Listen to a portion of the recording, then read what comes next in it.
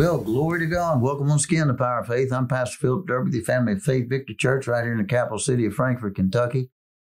And just delighted to be able to share with you the truths of God's Word once again. Luke 137 says, For with God nothing shall be impossible. Welcome to this wonderful Wednesday. And uh, we have been looking this week at the subject of praise. How important praise is.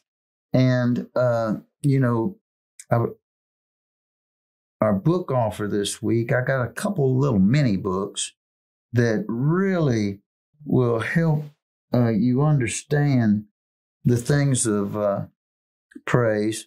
One's called The Mantle of Praise. You know, the Bible says we've been given the garment of praise for the spirit of heaviness.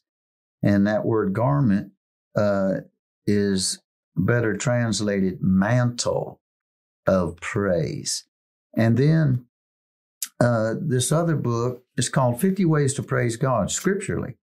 And, uh, you know, when you look in the Word of God, you'll find out that dancing and jumping and, and running and clapping and, uh, you know, all that shouting and uh, is actually biblical. Uh, now, I know somebody can get goofy with uh, anything that's biblical, but uh, there are different expressions of praise.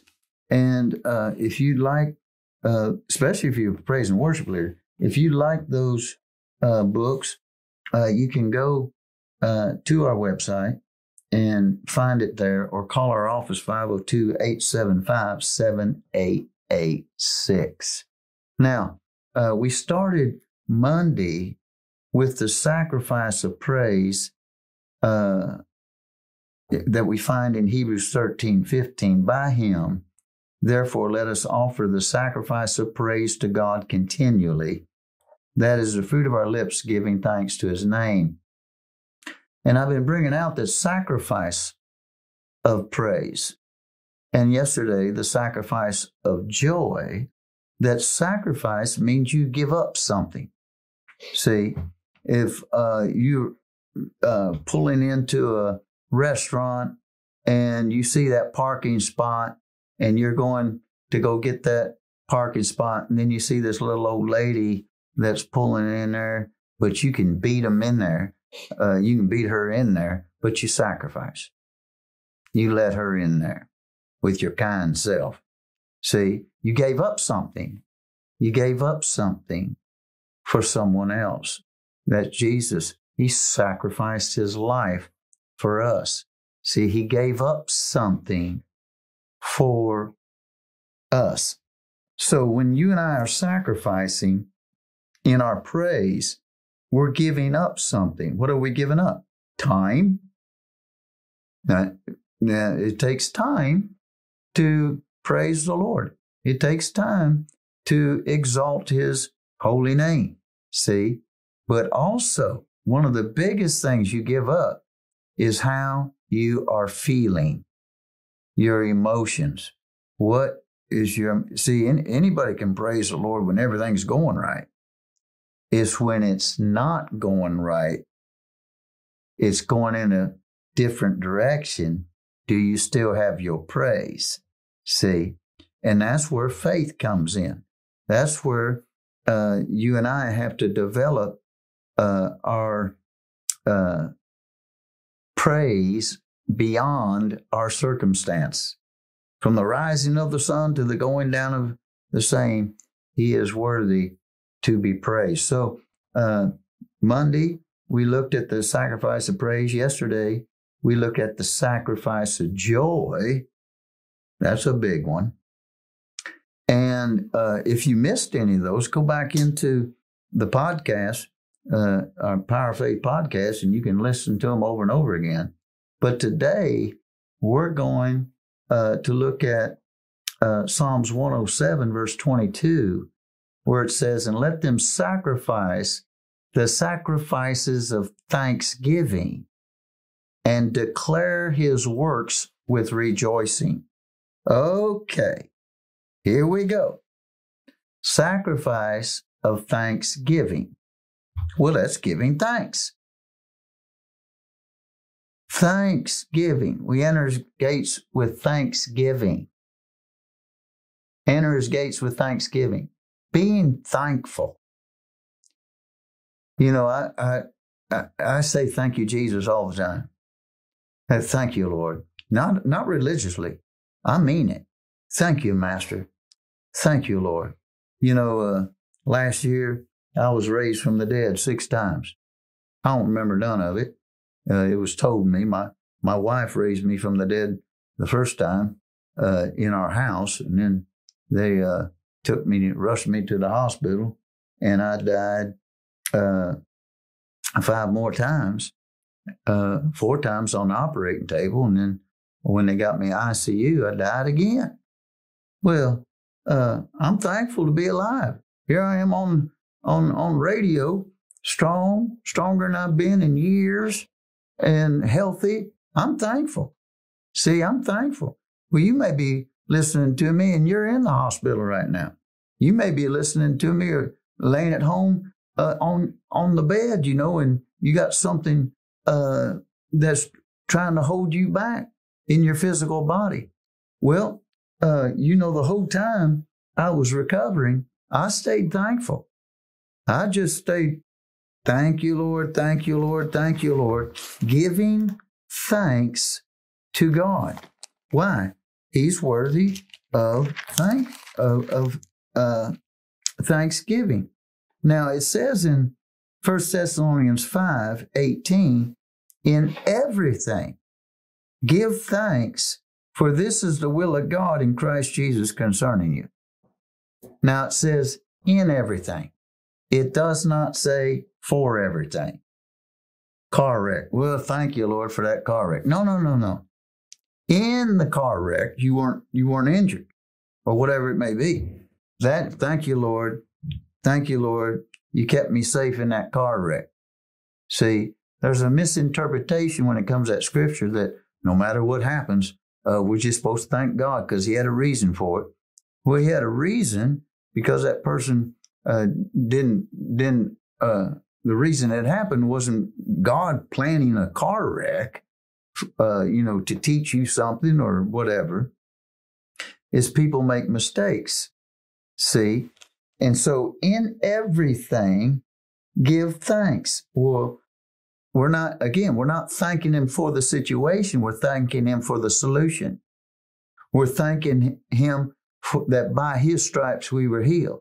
We're thanking Him that He supplies all of our needs according to His riches and glory. We're thanking Him that we're a new creation in Christ Jesus.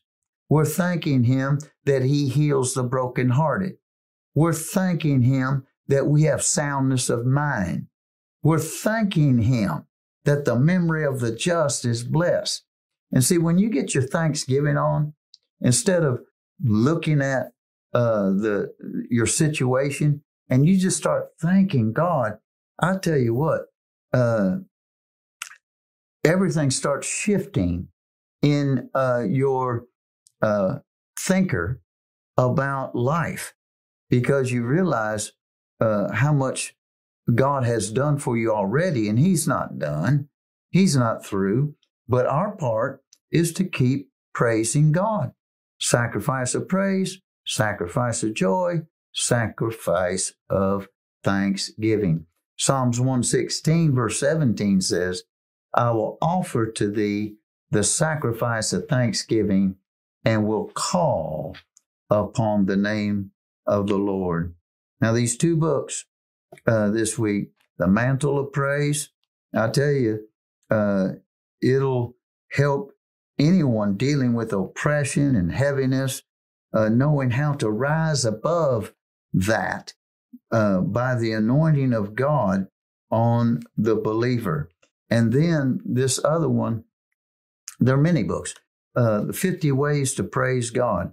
I tell you, uh, when you see what the Bible says, and I've, I've done I've done your work for you, where you, where there's 50 Hebrew words uh, with the scriptures that go with it uh, for instance, number 32 is uh, Rena. I guess how you'd say it in Hebrew. A shrill sound rejoicing, shouting, triumph, singing. And then there's three uh, verses where that word is used. Uh, and there's just 50 of these. Uh, Kara, to dance and whirl. See? And when you see this, uh, it will challenge you to go beyond just clapping your hands. And uh, if you want those little mini books, call our office 502 875 7886 and uh, we'll get those in the mail to you or simply go to our website faithvictorychurch.us and scroll down to the bookstore and you'll find them there among all the other books 50 ways to praise god uh, and or the mantle of praise. So i would encourage you no matter what you're going through on this wonderful wednesday to get your joy going get your thanksgiving going and i understand the sacrifice. I have been there. My wife and i uh, just several uh, weeks ago, I looked at her and I said, uh, We need to praise the Lord. We need to quit talking about this situation. We need to get it praise the Lord. She said, I know it. Uh, and I said, Well, let's do it. She said, Well, you put some music on. I said, You put some music on. And we're sitting there going back and forth.